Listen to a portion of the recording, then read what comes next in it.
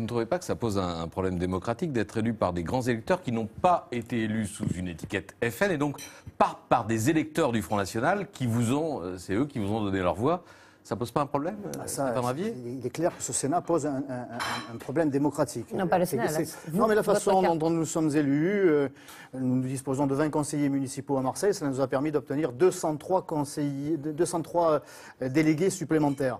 Bon, c'est pas très démocratique euh, comme, comme système, j'en conviens, mais la loi, c'est la loi. Je, je l'applique en attendant de pouvoir la réformer. D'accord, je note que vous trouvez que le système euh, d'élection à- indirect n'est pas démocratique. En tout cas, vous allez faire comme curieusement ceux démocratique, que vous mais il a été fait par nos adversaires. Vous allez faire comme ceux que vous dénonciez jusqu'à hier. Vous allez être des cumulards, sénateurs-maires.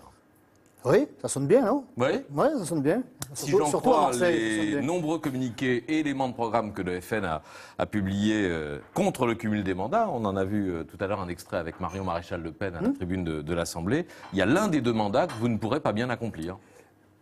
Ah, vous savez, moi j'ai une grande énergie. Nous, sommes, nous ne sommes que deux, mais nous avons beaucoup d'énergie, beaucoup de volonté. Et les autres Et, non voilà. et les autres cumulaires, ben, au vu des résultats, l'énergie qu'ils vous ont pouvez dire utilisée ça à n'a pas, pas- été que couronné je de succès. Voter la loi et contrôler l'action du gouvernement sont des tâches solennelles et lourdes qui ne sauraient se contenter d'élus à temps partiel accaparés par ailleurs par un mandat de maire. C'est un communiqué signé Marion Maréchal Le Pen et Gilbert Collard. Oui, c'est Il pour y a ça quelques que- mois. C'est pour ça que nous réformerons la loi dès que nous serons au pouvoir en 2017, Ouais. je le souhaite, et nous appliquerons la loi. Nous sommes des légalistes, nous, la loi c'est la loi, nous l'appliquons aujourd'hui telle Oui. qu'elle est, et nous l'appliquerons demain Non, telle ce- qu'elle Ce sera. qu'il dit, c'est qu'on ne peut pas bien faire les deux choses à la fois.